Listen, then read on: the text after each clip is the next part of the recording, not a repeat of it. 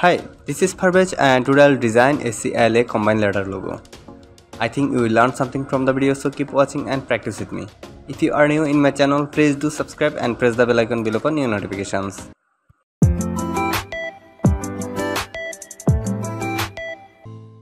Let's start the design. First of all, take rectangle tool and draw a rectangle and make size 20 into 1200 pixel. Then hit OK.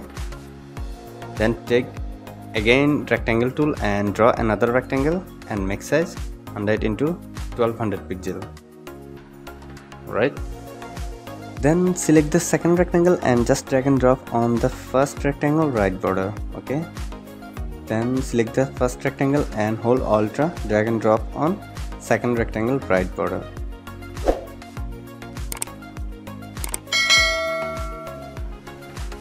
Then select all and make group then go option transform rotate and set rotate angle 30 okay. Then make copy. Then select the copy group and go option then go transform then reflect. Okay. Then make copy. Now select all and go to color palette turn off fill color Now take ellipse tool and draw a circle and make size. 450 pixel into 450 pixel. Make groups.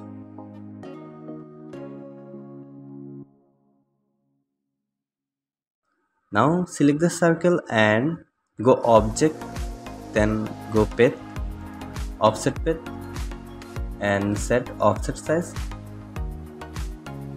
100 then press ok. Make groups now select all and go to align.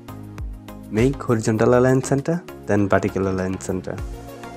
Okay, then select the circle group and just drag down. Just drag down till touch the point. Then just drag left. Okay,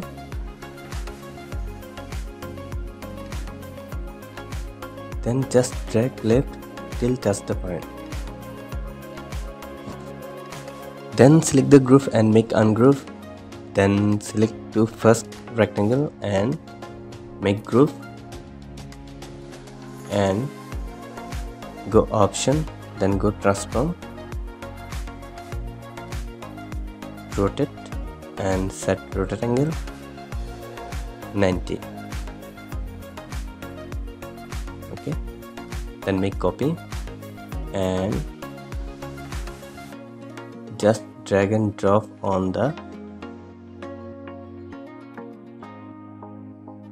point okay?